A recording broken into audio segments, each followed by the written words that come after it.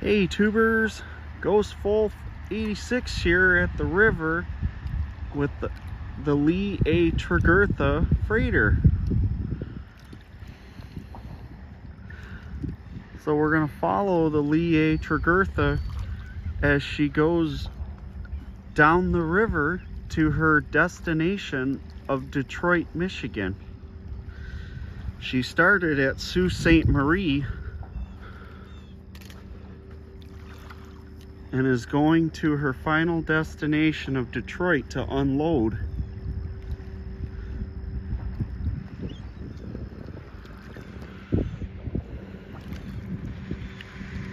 This ship was built in 1943 and was a World War II era tanker known as the USS Chiwawa which she was converted from a tanker to a lake freighter of the Cleveland Cliffs Company and became the Walter A. Sterling. And then was part of the Ford fleet as the William Clay Ford and then was bought by Interlake and was named Lee A. Tregurtha. She is 826 feet in length and is a self-unloading carrier.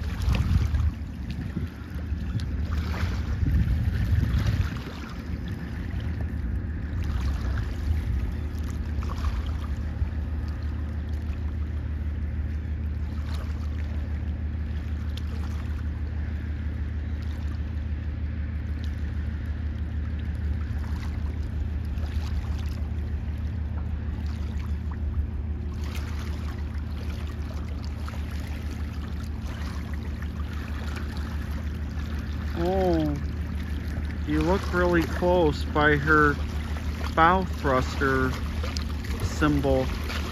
Looks like she got a new scar from the locks in Sault Ste. Marie.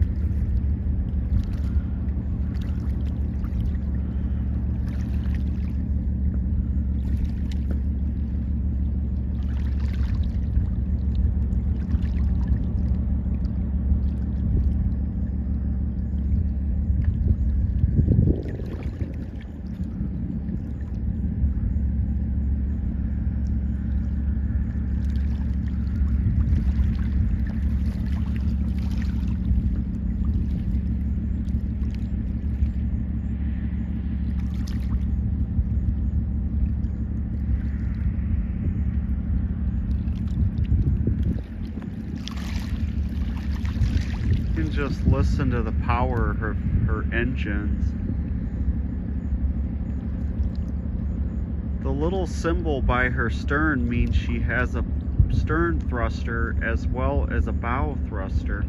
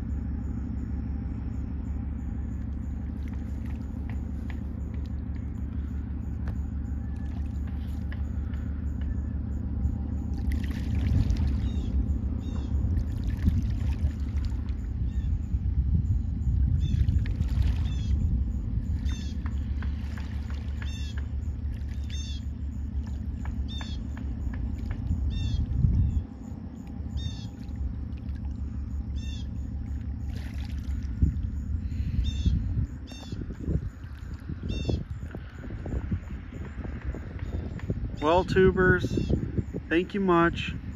Have a great day. Goodbye and enjoy this video of the freighter Lee A. Tregurtha. Please like, leave a comment, and subscribe to the channel. Who knows what I'll come up with next. And also, subscribe to Super Ships, as they have awesome videos as well. So share my videos and their videos with your friends. Bye!